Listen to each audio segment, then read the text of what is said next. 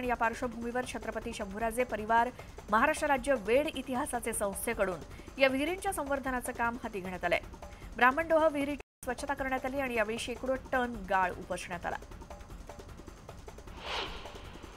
पीएमपीएमएलच्या कर्मचाऱ्यांना अखेर सातवा वेतन आयोगानुसार वेतन मिळणार आहे. महापालिकेच्या धर्तीवर सातव्या वेतन आयोगानुसार डिसेंबर महिन्याच्या वेतनात आयोगाच्या फरकानुसार वाढणाऱ्या वेतनाची पन्नास टक्के रक्कम जमा केली जाणार आहे. पुणे जिल्ह्यातील वडगाव मावळा अठ्ठ्याण्णव लाभार्थ्यांना हक्काची घरं देण्यात आली. पीएमआरडीएनं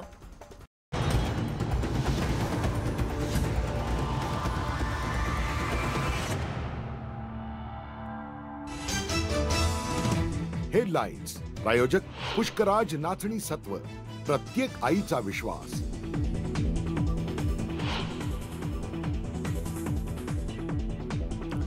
दिल्लीला फोन करून एकदाचा मंत्रिमंडळ विस्तार करून टाका. मंत्रिमंडळ विस्तारावरून अजित पवारांची टोलेबाजी.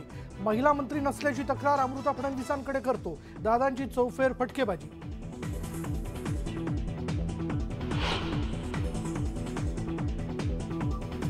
बारामतीत येऊन घड्याळ बंद करण्याच्या वल्गना करतात मिक्स करेक्ट कार्यक्रम करेन अजित पवारांचा चंद्रशेखर बावनकुळेंना टोला तर भाजपमध्ये फडणवीसच ताकदवान असल्याचंही वक्तव्य.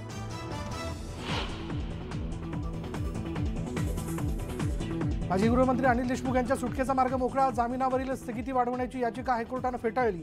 एक वर्ष एक महिना आणि सत्तावीस दिवसांनी देशमुख जेल बाहेर येणार.